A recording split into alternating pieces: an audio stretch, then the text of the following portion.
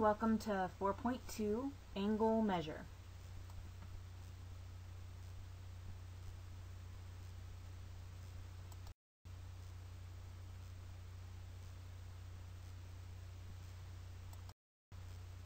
Okay, in your textbook, this section starts on page 121. There's actually a picture of the Biltmore Mansion, okay? This is in Asheville, North Carolina, and it is geometric genius. There are angles on the exterior where the spiral staircase goes up to the main entrance, and there's, let's see, the first four buildings in, let's see, is that right? First four, yeah. And are included in this floor plan that's in the middle of the page 121. Excuse me.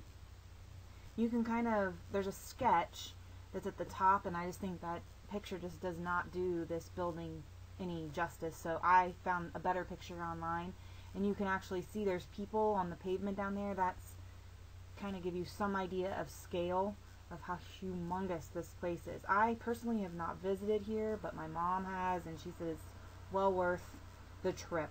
Okay, but it'll just give you an idea of some spatial perception, and you know, and just some appreciation of complex architecture is always good.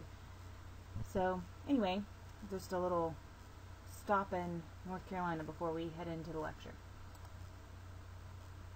Okay, so your first postulate is the protractor postulate.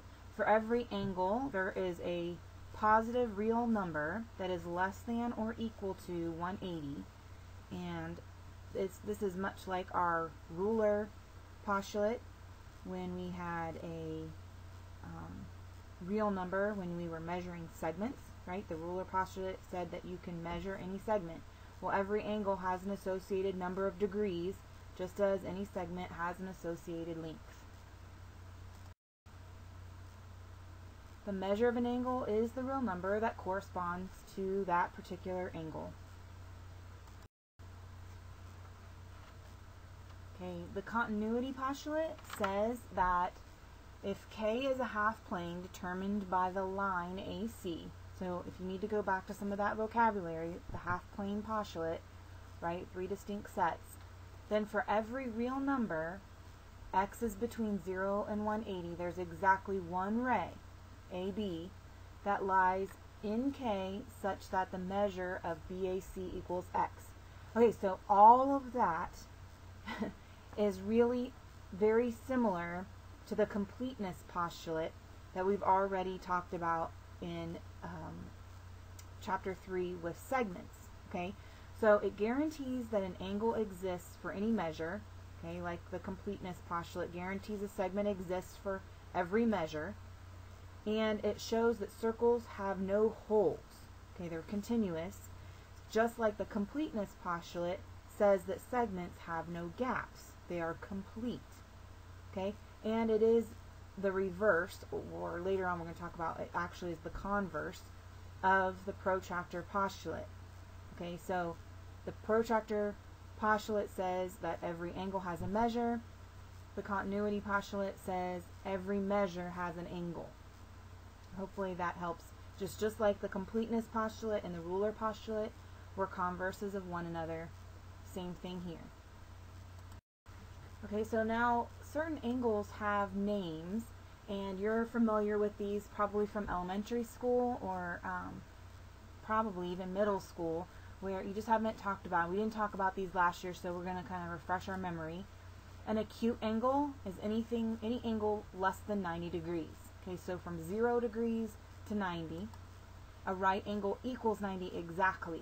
Okay, it's not 89.999. It's not uh, 90.999. Okay, it's 90.000 forever. An obtuse angle is anything more than 90 but less than 180. 180, as you know, is a straight line. And then the straight angle is what they call it here. Instead of calling it a line, it's a straight angle, equals exactly 180 degrees.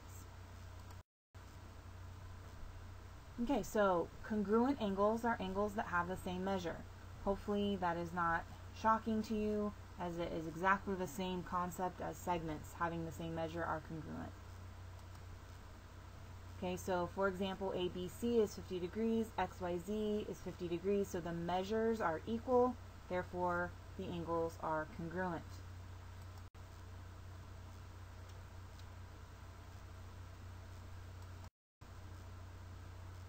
Okay, that is the lesson. So for your WSQ summary, we're doing something a little bit different. There's two questions. First, express a logical opinion as to why a circle is divided into 360 units for measurement rather than some other number. Say, for example, 100. Um, if this will, Google will help you out with this. Okay, there's actually two different thought processes here, and I'm okay with either one. You can give me both Uh, as well if you rather.